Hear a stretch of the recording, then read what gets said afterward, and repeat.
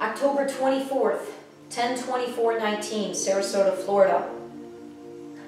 In between trips, just trying to capture a little snippet of the energy. Very amped.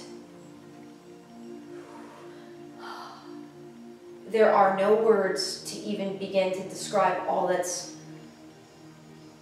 happened, that I've experienced, and that I'm feeling as I am tempted to download and process and reintegrate what this 18 day trip was like for me.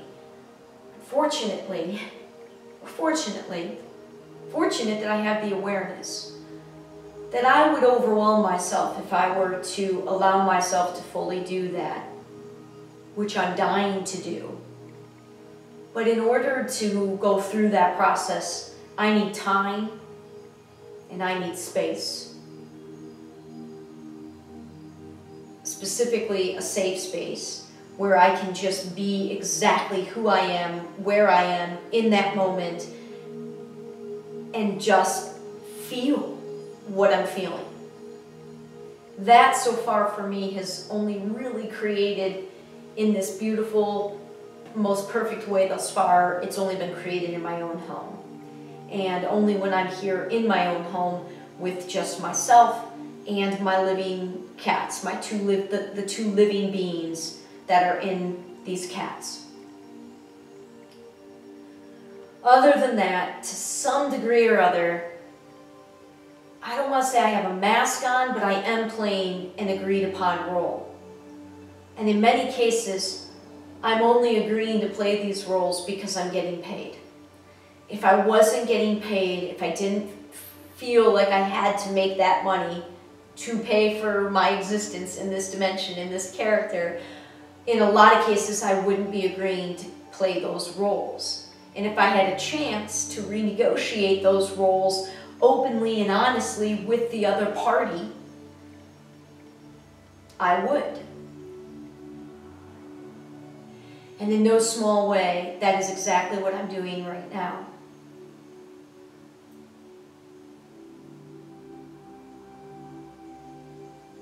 Right now, I'm doing it with myself because it's brand new. I've never stood up as Alyson with clear desires. I, I, never believed I was allowed to have my own desires and my own opinions and my own voice and without taking into consideration everybody else the same as me. Like I, and actually I put myself below what mattered to the collective. It's not that that's necessarily a bad thing, but you have to know how to take care of yourself. And that's been perhaps the greatest of my lessons in this existence and what I continue to be tested with, if you will, as I grow and expand, to learn what that means to care for myself as this being so that I can be to others what my soul intended to be in this existence. I am going to renegotiate with Ironman in a way that I've not negotiated yet in five years. I risk nothing. Really, there's nothing that I'm risking by just being a little bit more detailed and a little bit more willing to take the chance of sharing what I actually desire. And from my perspective, what I think I can bring to, from my perspective, what I'm hearing, the words of what their company wants, desires, intends to be with their events, the money they want to make. Like, let me try to tell you how I can best serve that.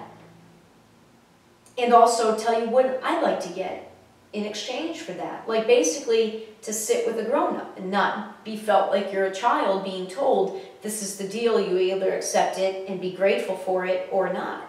Like, it, it really is, in general, this maturing of energy and one of my early influences in my in my physical this life powerful female sadie her voice comes into my head. Seattle is where i met sadie. Let adults be adults. I would love to sit at the table and be able to just be real with the other side of the the agreement. And in this case Ironman. Yeah, it's the company, but what we seem to, we as the individuals all make up the company to varying degrees of how we represent it. As long as I accept a paycheck from World Triathlon Corporation, which is Ironman, I have a responsibility to part of what the image is. I might not have a big responsibility, but I have a responsibility. But that responsibility never trumps being me. Like, like I'm not going to trump and, and compromise my integrity and my authenticity, you know, authenticity.